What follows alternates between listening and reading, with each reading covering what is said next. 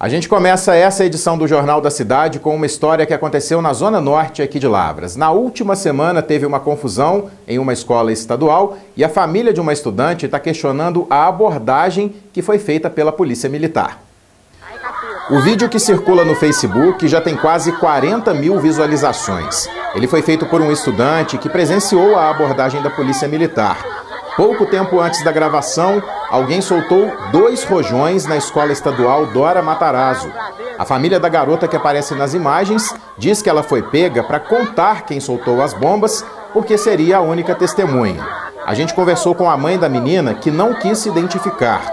Logo que foi avisada do caso, ela correu para a escola e disse que a polícia jogou spray de pimenta nela no meio da confusão. Foi bem difícil, foi um dia pavoroso de muito nervoso, de medo também. A mãe da adolescente disse ainda que a polícia foi até a casa dela depois. Os militares estariam procurando os outros dois filhos que estavam trabalhando na hora dos rojões. A mulher passou mal e agora questiona a abordagem feita pela polícia. O policial parou na minha frente e falou: Eu vou pegar seu filho, eu vou pegar seu filho, porque foi ele que jogou a bomba na escola, eu vou pegar ele e eu pedi pelo amor de Deus, não faz isso, não foi meu filho. Quando eu falei para ele não, pelo amor de Deus, ele jogou o spray de pimenta no meu rosto. Nisso, eu voltei para dentro da escola para pedir ao supervisor, pelo amor de Deus, para falar que não tinha sido meu filho que fez isso.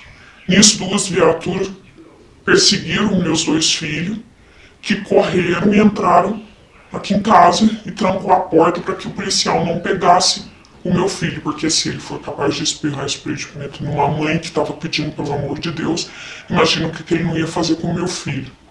Eles ficaram trancados aqui. Quando eu cheguei aqui, tinha uns policiais, duas viaturas aqui na porta de casa. Esse policial que espirrou o spray em mim, ameaçando quebrar a porta da minha casa para tirar meu filho. Nisso, outro policial começou a conversar com meus, meu filho mais velho. E, e, eu, pedindo pelo amor de Deus, convenci os meus dois filhos a saírem. Ele pediu o documento do meu filho. Eu estava muito nervosa, comecei a tremer, a passar mal. Meu filho me trouxe para dentro de casa e eles foram embora.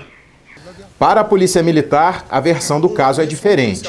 Segundo a corporação, a adolescente foi contida porque teria sido ela quem soltou as bombas. É, não só de ponto de vista da polícia, também das testemunhas e os próprios solicitantes, né?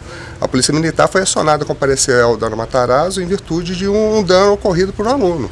Ele invadiu a escola, danificou vários, vários é, bens da escola, quebrou vidro, danificou uma sala de aula, agrediu alguns funcionários que tentaram detê-lo e evadiu da escola.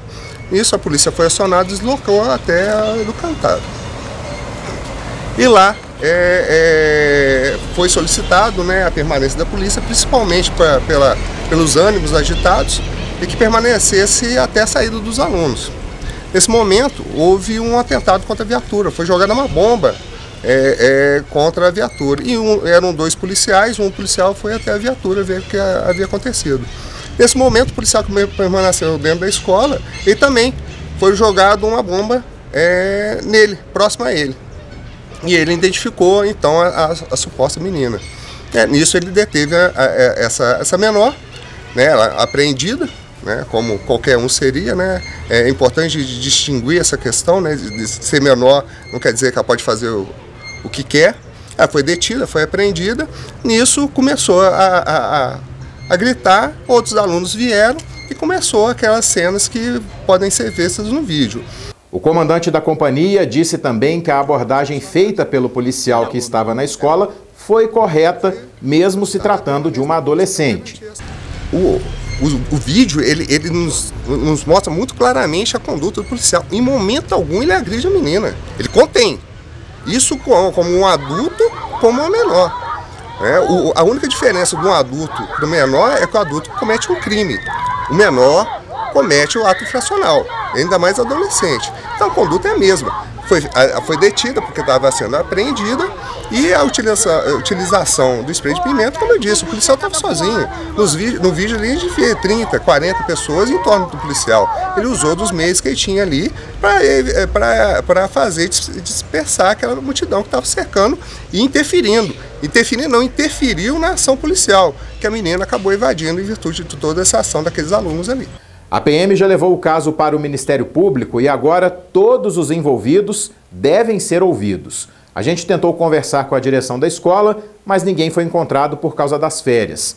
Por e-mail, a Secretaria de Estado da Educação informou que o episódio envolvendo a estudante já foi levado ao conhecimento do Conselho Tutelar e da Promotoria de Infância e Juventude.